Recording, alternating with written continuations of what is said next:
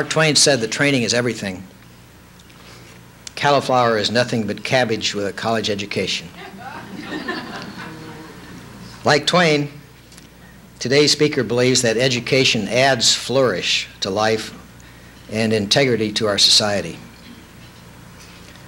Dr. Nancy Wilgenbusch is the president of Marylhurst College, an unusual and vital facility providing diverse educational opportunities uh, to us all. Previous to joining Marylhurst uh, in 1984, she spent nine years in administrative positions at the College of St. Mary in Omaha, Nebraska. Nancy lives out her commitment to education as a key to a better community through her extensive volunteer activities. She sits on the board of Elderhostel, as well as the Portland Chamber of Commerce, the Lake Oswego Chamber of Commerce, Portland Urban League, and uh, Junior Achievement. She's a founder and fellow uh, of the Oregon chapter of the American Leadership Forum. She's recently been elected to membership uh, in the uh, Downtown Rotary Club. As an independent director of uh, Mutual of Omaha Fund Management Companies, uh, Nancy is the only woman to serve on the board of a Nebraska company that is listed on the New York Stock Exchange. She also sits on PacifiCorp's board of directors. Nancy will speak us, to us today about the importance of lifelong learning uh, in a changing society. Please welcome with me uh, Dr. Nancy Wilgenbusch.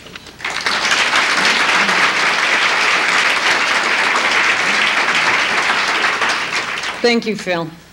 I'm simply delighted to be here. It's always a pleasure to be in front of the City Club. I've long admired the tremendous effort and the considerable amount of work that this club puts in to investing all of us and having all of us focus on the significant issues that affect our community. And I, for one, among others in the community, applaud your work. I must say that I've gained an additional amount of respect for your program committee, which I think was amply shown when they invited an Oregon College president to speak here some three months in advance and then trusted that I'd still be one when the time came.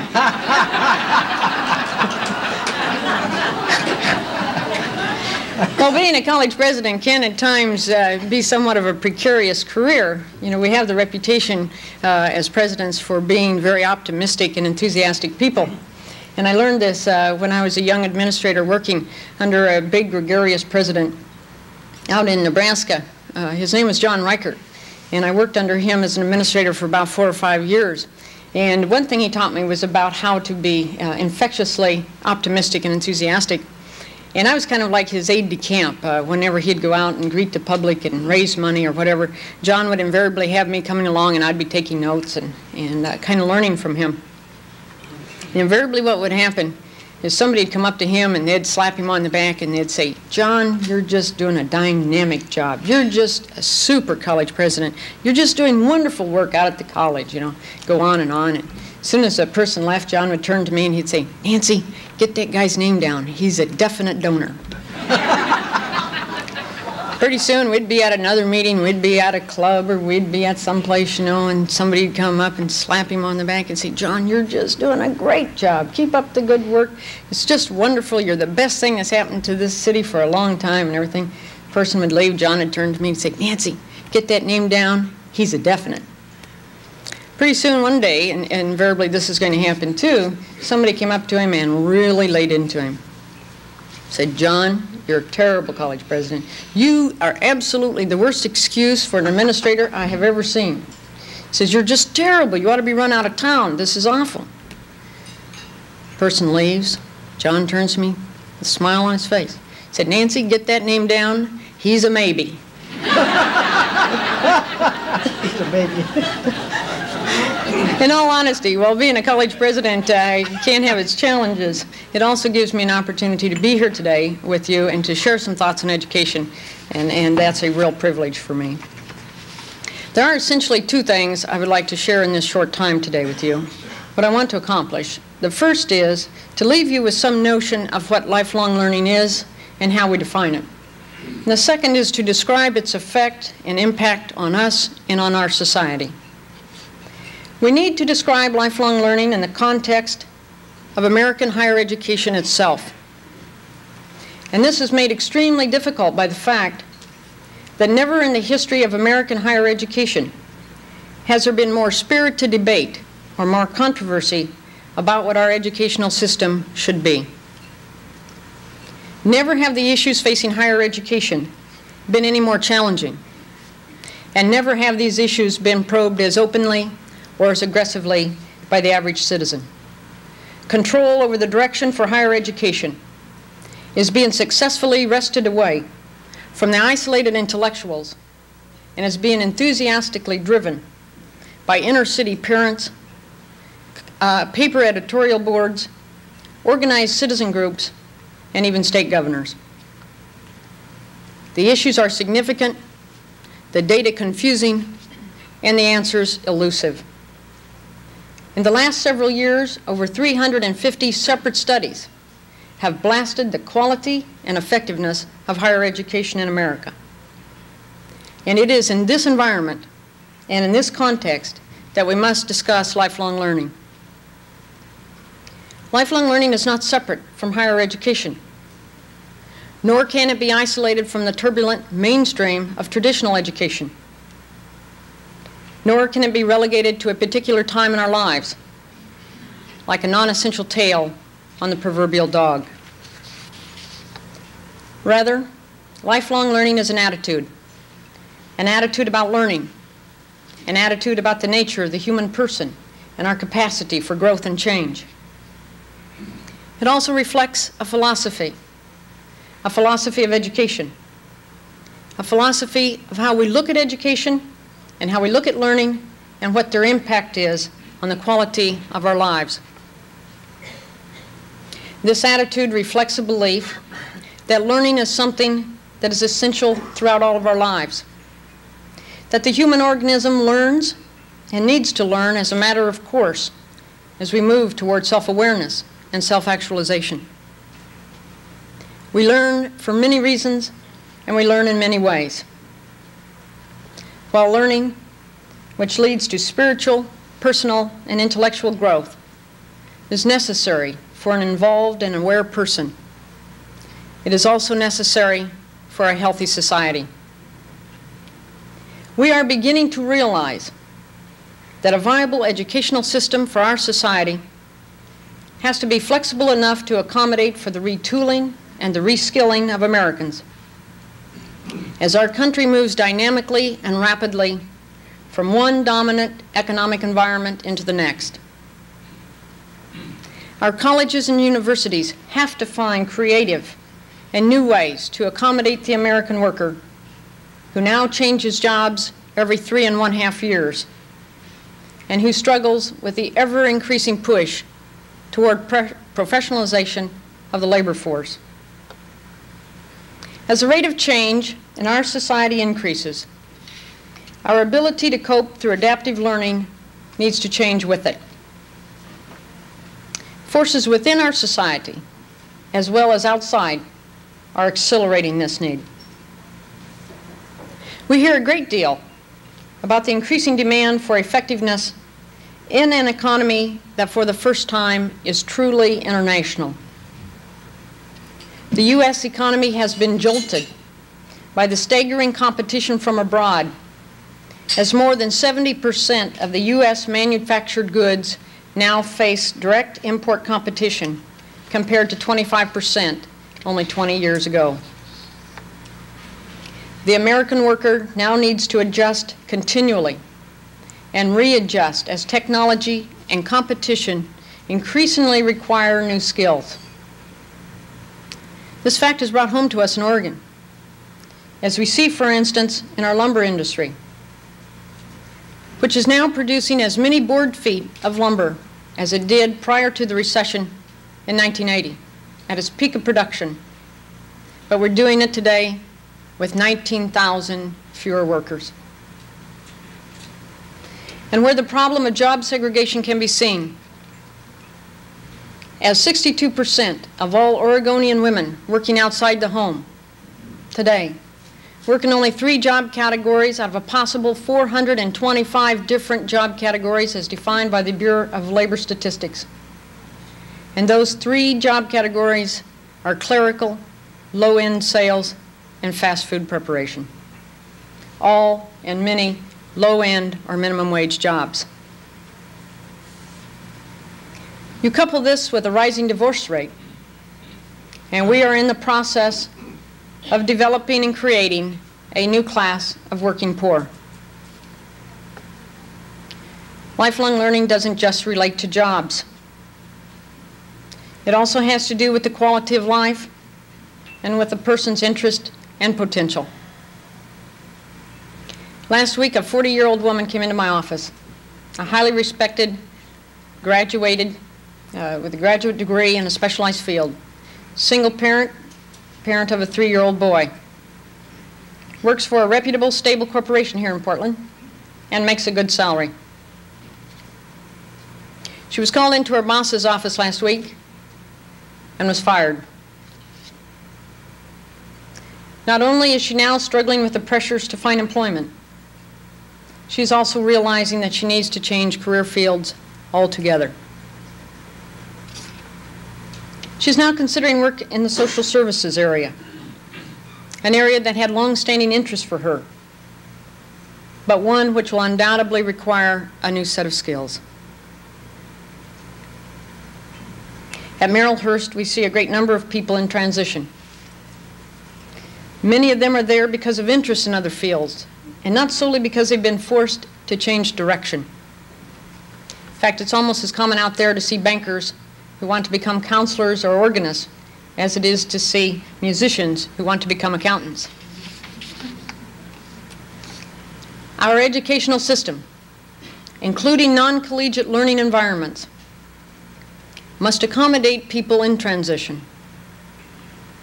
Because all of us, in one way or another, are in transition. This has pushed older people into an overly rigid educational system. Right now, over 45% of all undergraduate and graduate students in America are over 25 years old. 45%. In Oregon, where we have a 30% high school dropout rate, the need to accommodate these workers as they mature and need to progress is obvious. And while the argument can be made that a college experience isn't for everyone, a college graduate still earns 40% more in their lifetime than does somebody who graduates only from high school.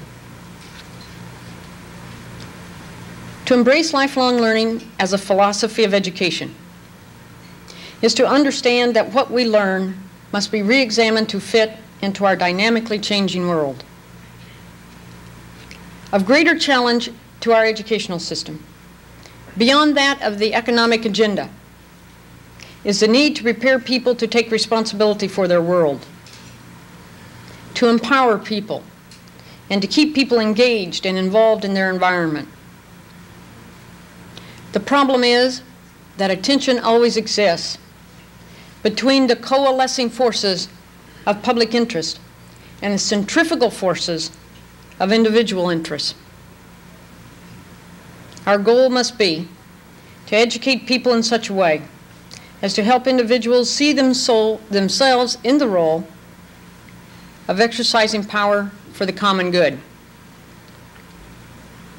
Our society faces issues of overwhelming complexity.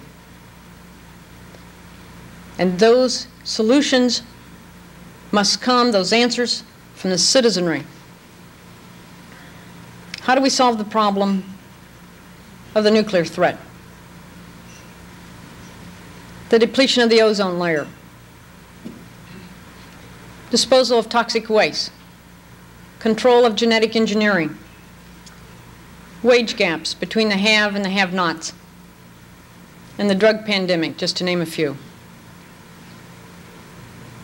How do we begin to solve problems for which we see no solutions, much less simple ones? How do we involve people in deriving or finding these solutions? When, for instance, actual voting has declined in every presidential election in the last 20 years. We must somehow reverse this trend towards self-interest and self-absorption. Research shows an alarming change of attitudes among college students in the last 15 years. showing that the values with the greatest increases are being well off financially, being an authority, having administrative responsibility over others, and obtaining recognition.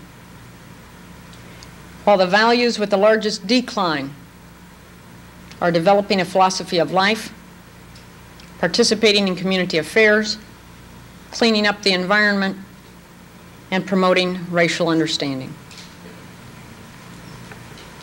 Allan Bloom agrees, and I quote,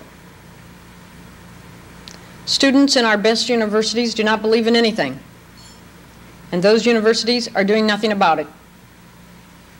An easygoing American kind of nihilism has descended upon us, a nihilism without the terror of the abyss. The great questions hardly touch the young. End quote. So while education is focusing increasingly on career preparation, the environmental context for those careers is staggering under the weight of forces which desperately need our attention. To develop a sense of elemental cohesion which could bring about common action, education must be the catalyst. We're talking here of a dynamic democracy as the Carnegie Foundation on Higher Learning in the Nation's Service argued, this nation began with a conviction, at once deceptively simple and profound, that for democracy to work, education is essential. A critical need for our society is a system of higher education which provides for the training of moral and ethical leaders and creative thinkers it is impossible to live in America in 1988 and not feel that we are experiencing a legitimate crisis of leadership. The symptoms of this failure are overwhelmingly apparent. Our educational curricula must examine the issue of leadership, and the discussion must be ongoing, relentless, and pervasive throughout all levels of education. And our society also needs us to focus on ways to encourage the development of creativity in people. It is creativity that allows us to develop new concepts, to integrate differing forms of knowledge and experience in order for each of us to reach new understandings. And we desperately need all forms of creativity technological, scientific, organizational, as well as artistic. So while the concept of lifelong learning stretches beyond as well as encompasses traditional definitions of education, it also stresses preparation for a changing world, support of an involved and inquisitive whole person, civic involvement and leadership skills to bring about solutions to shared problems, and creativity that expands our human horizons. We all here today have a stake in assuring that our community, our state, and our nation understands the importance of lifelong learning. And it is imperative that all of us become advocates in its support. We all have a role to play in this. As individuals, we must stay open to learning, to continually gain new insights and awareness. And we must push ourselves to become more actively involved in our own learning. As voters, we must critically examine the issues, and we must make sure that our tax dollars are being spent where the critical needs are. To question, for instance, the efficacy of creating a new tax on beer and cigarettes in our state, which would go for the additional support of athletic programs, while basic access questions still loom.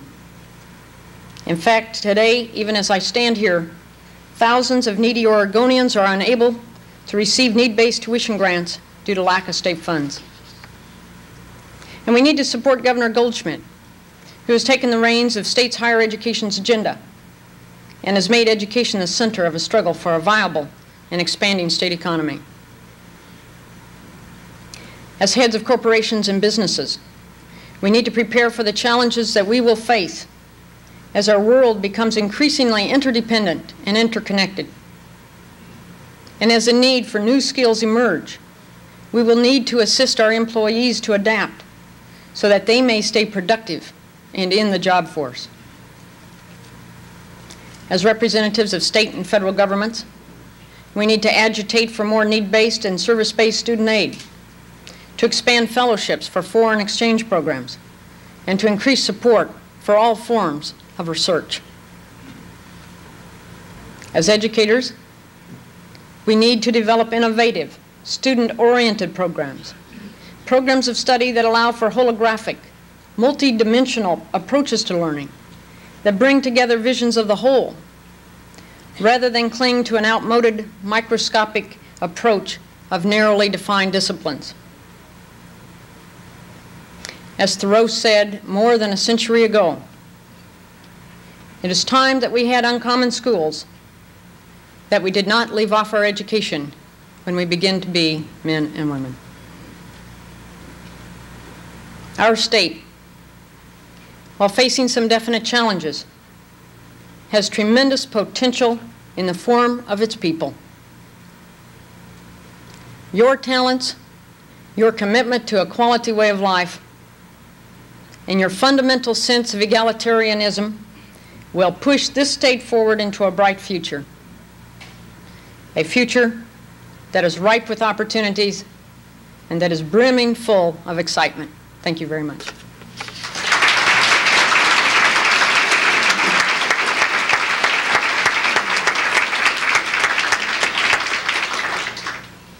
Charlotte Kennedy will ask the uh, first question uh, while the microphone is being placed uh, on the floor. Dr. Wilgenbusch, I'd like for you for a moment to just stand back and look at undergraduate education, not just at Marylhurst, but at other institutions, and for a moment dream. What changes, rather specific ones, would you like to see made in an undergraduate curriculum that would do two things? One, prepare students practically for a future that might involve very many different kinds of jobs.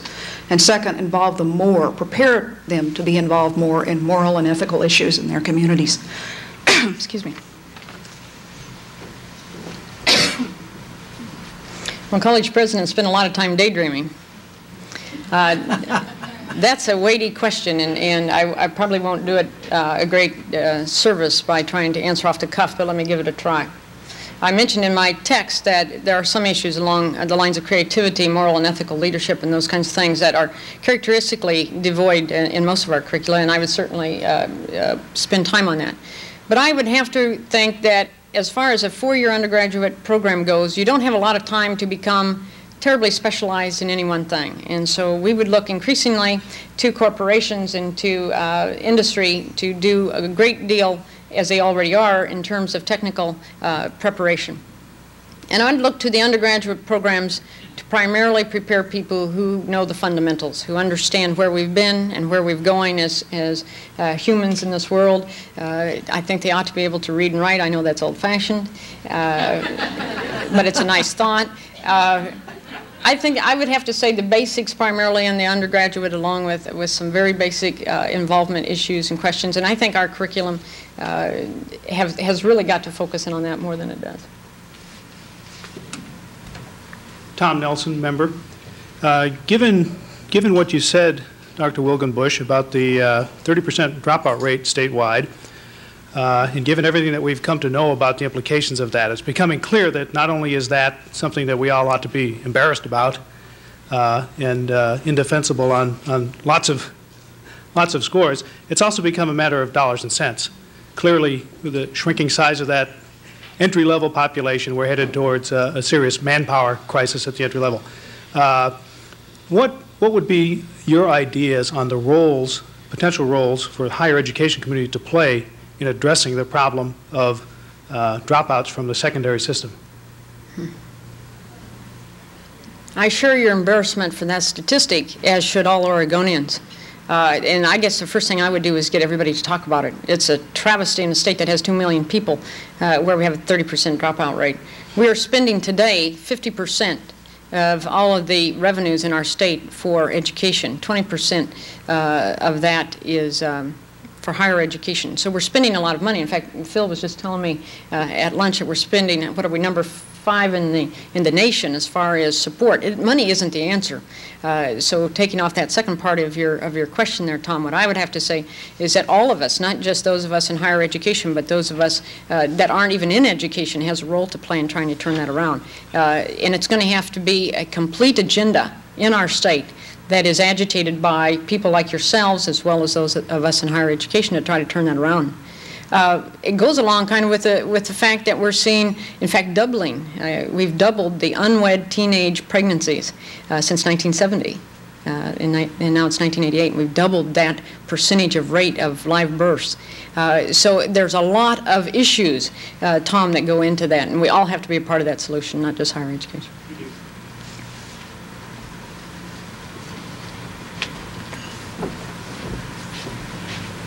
You must have an audience that agrees very much with what you're, uh, what you're presenting in your that text. would be a change. I want to take the privilege of, the, of, the, of my position here and ask a question of my own.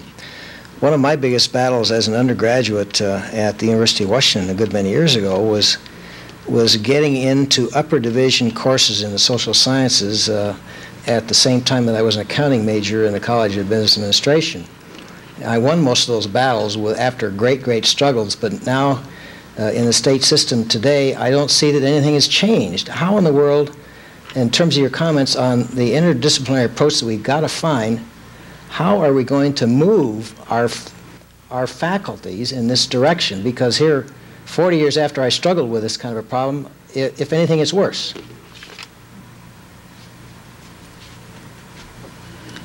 What's happening there, Phil, that you're describing is a basic conflict between specialization and, and, and, generalization, general preparation. And so where there's a lot of pressure on for instance, accounting or uh, people that are in the accounting profession to learn a great many more skills. There's also this great push that we have for people to understand basic history and basic humanities and fine arts and the like. So there's a basic struggle and a basic conflict that can only be, be resolved in one of two ways. Either we extend that basic four-year uh, educational system out into five years for a baccalaureate degree and try to take care of some of that, or we take some of those specialized skills and move them. Because you certainly can't take the humanities and the fine arts and, and stretch those out and, and expect industry to pick that up. So if we're going to do anything about that, what we're going to have to do is either either wait for graduate uh, education to pick up uh, increasing amounts of the specialization, or we're going to have to extend the school.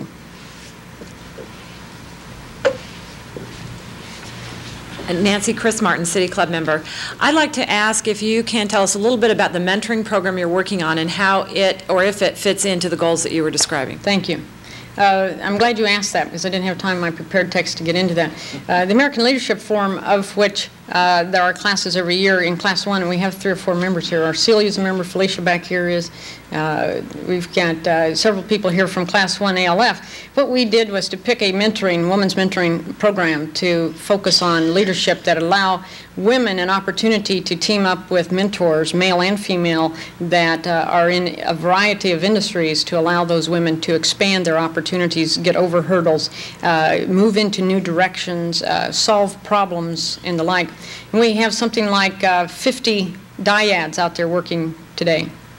Uh, I have people working with me. Everybody's working with people. We have people like Don Frisbee that's got somebody, and Fred Miller down at the State House. And we're doing a number of things. The thing that's really exciting is not only what we're doing with those 50 women, allowing them to advance and explore new things. The other thing that we're doing is, is seeing an interesting spin-off, and one of which has direct implication not just for women working in the, in the women's issues, but also this unwed pregnancy problem out in Prineville. Uh, we've got a spin-off of our program where they're taking, identifying at-risk female students at the sophomore level of high school. Uh, people that are, you know, poor in grades, that are uh, in and out of school, that high absenteeism, identify those people when they're sophomores, those young girls, and team them with women professionals in the community. And they would have a three-year experience of seeing that there are options for these young girls other than dropping out of school. And, and that just started this fall, and it's tremendously exciting. And so we're doing a number of those spin-offs that are interesting. I think that'll have a direct impact. But it's a small, it's a small thing, but it is an example. Nancy Lee Johnson, uh, City Club. last time you spoke, you spoke about mentors as well. And I think this is very interesting and a great way to tie in. We have that in Sherwood too. I would like you to speak about mentoring at the mid-age, women that have been successful without continuing education, and how they can tie in with a mentor and proceed into a, a higher job. One of the problems that our particular project is having with mentoring is that it's not under any state affiliation or any organization. It's kind of loose floating out there. And our project really ends in December. And we're either going to have to roll that off into something else or into a, get an organization to pick it up, or we can't do it. We probably could. Uh, and I mean, I think I'm being all honest. If I, I, I think we could probably place 500 dyads if we had the staff to operate that and we don't have. So uh, it's, a, it's a real problem. There's a great deal of interest and need for those women in that age category. We just can't expand the program because uh, it doesn't, it's not tied to anything in general. Uh, it would be an interesting thing for the state to pick up and I think would have a great impact for, for our state. Ms. My name is Gilbert Lamb, a member. Could you explain how the Japanese are successfully educating their youth so superior to the USA youths? Is the NEA, the Teachers Labor Union, responsible for the shorter school hours? And what other reasons? Hmm, 30 seconds or less. Hmm. uh, first of all, uh, I'll go on record by saying that I don't think that there is any system of, of education, K-12 or higher education in the world that is superior to American education. It's not in terms of access, in terms of quality, in terms of anything else.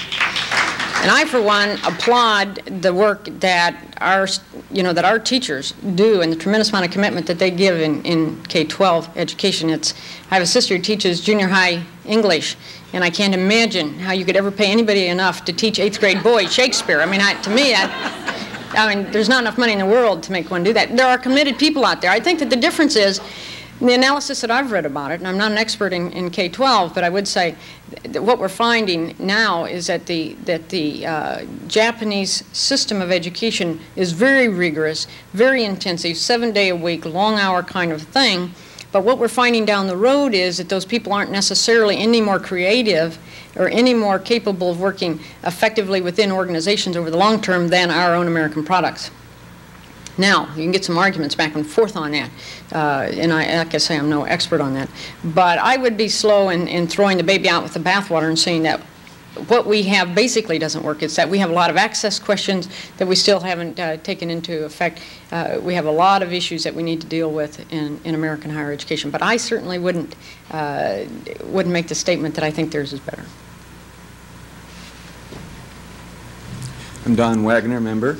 And I'm wondering how your organization fits in, for example, with the State Board of Higher Education. Where does your money come from? Uh, just more or less, how, how do you operate? In a nutshell, if you would. Depends on the day. Not your organization, obviously. No. Uh, where's our money come from? That's a good question. I'd like to know that, answer to that one myself. Uh, basically, we are an independent private Catholic institution that's co-ed for higher education. We do not come under the direct jurisdiction of the uh, Department of Higher Education or the board, Oregon Board of Higher Ed.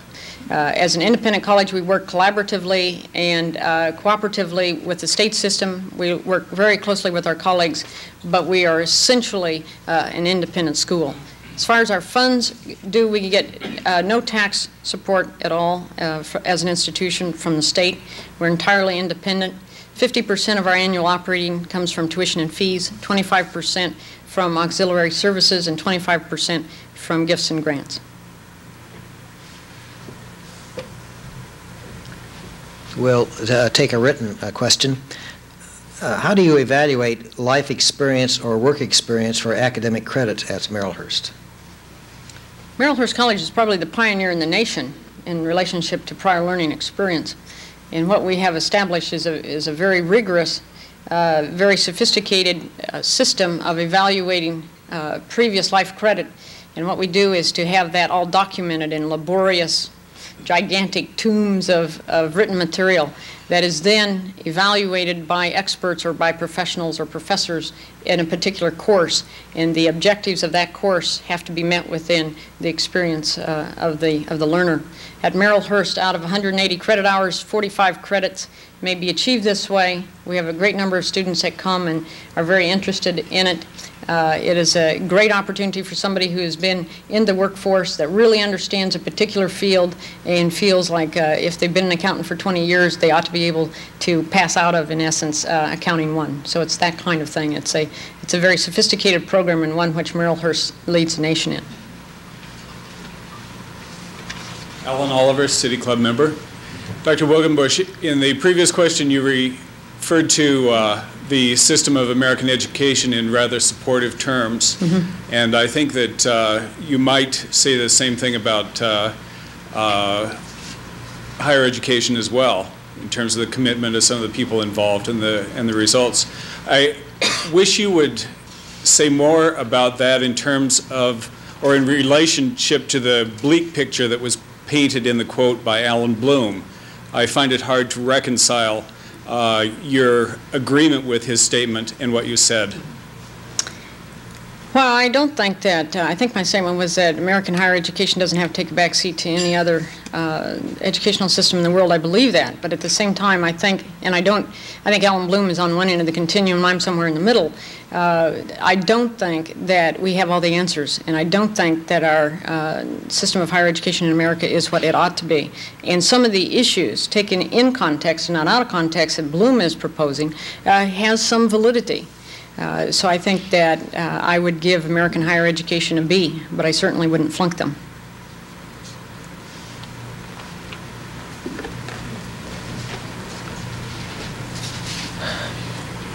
Here's a good one for you, Nancy. How should we rate college presidents? What criteria do we use, given the inevitable turbulence of intra-university life? That's what I like about the City Club, you know? It's the only place I come to speak where you can't eat before you. How do you evaluate college presidents? Uh, The difficulty with being a college president is you have about seven, eight, or nine different constituencies. You have students, you have alums, you have donors, you have, uh, as in the state system, you've got taxpayers. Uh, we've got uh, all kinds of people that are that are uh, educational activists that are in the community. We just have a wide variety of constituents. And when you look at the performance of a college president, each of those constituents may see an entirely different type of behavior, something they may approve of or something they may not approve of. But I would have to say that for an evaluation and a performance appraisal of a college president, all of those constituencies have to be a part of that process. Uh, and I think that we have to take a very even-handed, a very objective approach to examining that. Uh, just because a college president has uh, some controversy doesn't necessarily mean that that controversy isn't appropriate and shouldn't be there. Uh, and so we can't, uh, especially not in the turbulent times of the 80s and 90s, we can't uh, have a, very smooth water and expect that that's just going to be the answer uh, to quality higher education. But I do think that all constituencies must be a part of that process. I think perhaps we can tie two uh, of these written questions together. The, the first is discuss in more uh, detail, please, your view of the best relationship between public and private institutions of higher education. And the other uh, written question has to do with uh, the, the network uh, uh, in Oregon of a continuing education system and, and how does, uh, of which the state system has one, and how does Marylhurst connect with, with the continuing education systems of the University of Oregon, Portland State University, and so on. So the question basically is the relationship between what you're doing and, and, and public education.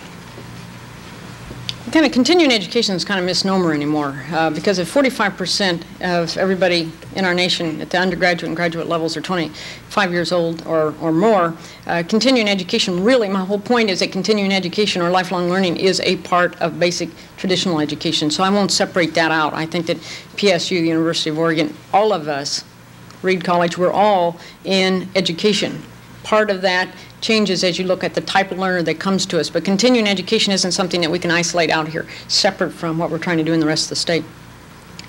I think our state needs an agenda that speaks to the role of higher education in the state's development of its people and its resources. And I think that private and public institutions of higher education both have roles in making that happen. Today, our private institutions in our state uh, graduate something like 20% of all the graduates out of our, out of our system in Oregon.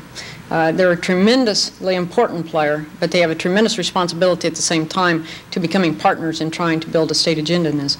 And I think that the issues that are going to have to be looked at in that agenda are some of the statistics that we talked about today. So I think we all have a role in that.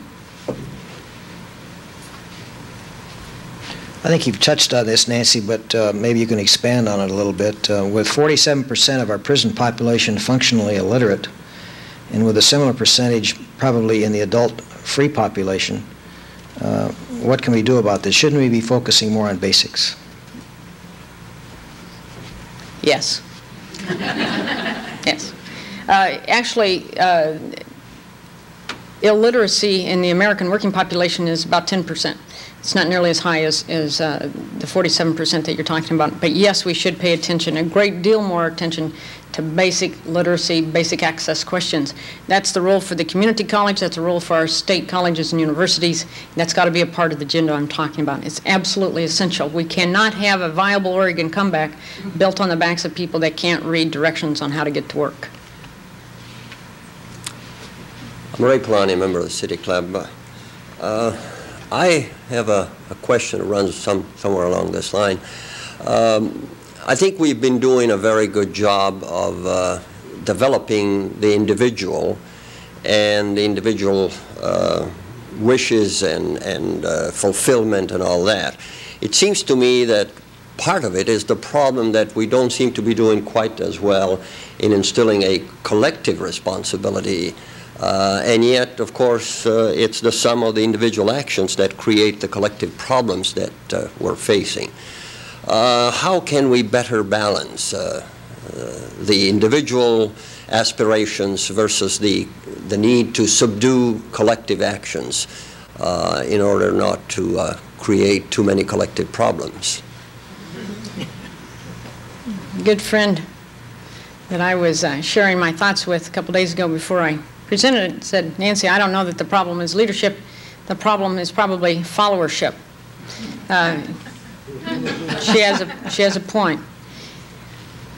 I don't know the answer to that. I'll be real honest with you. It's not going to be an easy answer. It's going to re require something that is is an awareness and is an involvement of people understanding their basic responsibilities. It can't wait until you're in, you know, in college. It's got to happen when you're in first grade. It's got to happen in fifth grade. It's got to happen in ninth grade.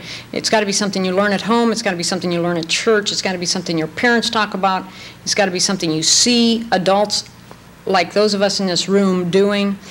We all have responsibility to act as role models in that involvement. Uh, there's not going to be an easy answer to that. And we can't just look to K-12 or higher education and expect educators to somehow instill this sense of collective responsibility that you're speaking to. Uh, that's too late, too little, too late. Uh, it's going to be a part of it. It isn't going to be all of it. It's got to be something that we're all involved with.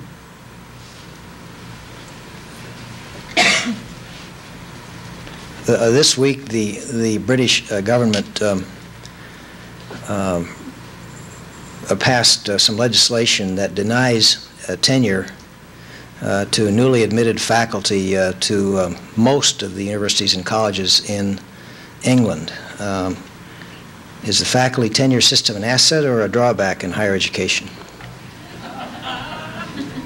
Phil Bogue, who do you work for? I don't have tenure. You don't have tenure. You doesn't have to worry about that. I'll get you later for this. I think that the purpose of tenure uh, historically was to preserve freedom of speech and academic process. I think that tenure uh, historically served a very, very important role. I think that tenure today has changed. The need for it has altered uh, as history has, has been altered. We don't have tenure at Marylhurst. Uh, that wasn't something I initiated, that was something that I inherited. Uh, I think that what faculty uh, need to be assured of is the fact that they have an environment where differing views can be uh, shared with students, can be spoken, and whether that's tenure or whether that's not tenure, that's still the basic goal of American higher education, and I think that has to be preserved at all costs. Uh, Dr. Wilgenbusch, I'm uh, Jack Butler, a member of the uh, club.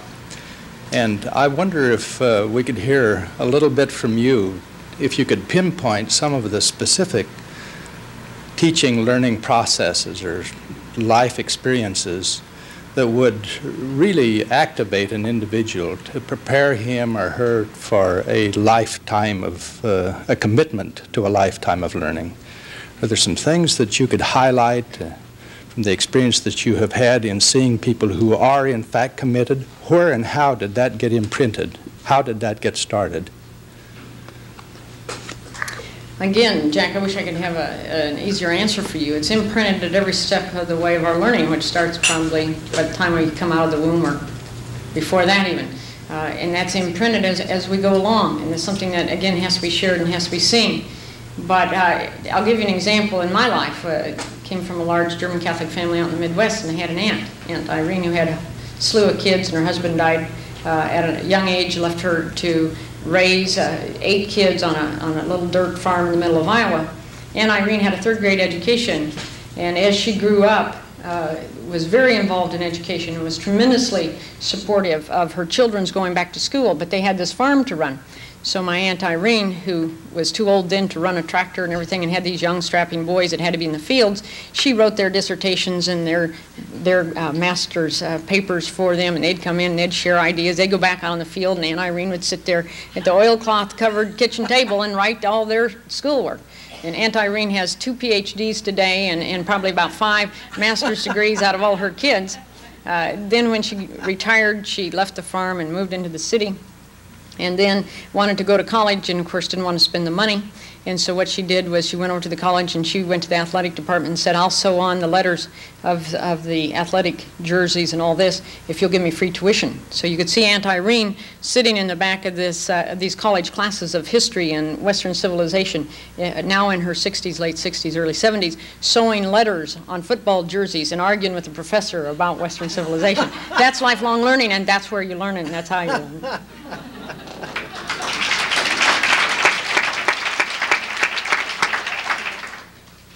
Any other questions? I think that's all the questions. Uh, Nancy, thanks very much for the, this wonderful presentation. We appreciate it very much, and we are adjourned.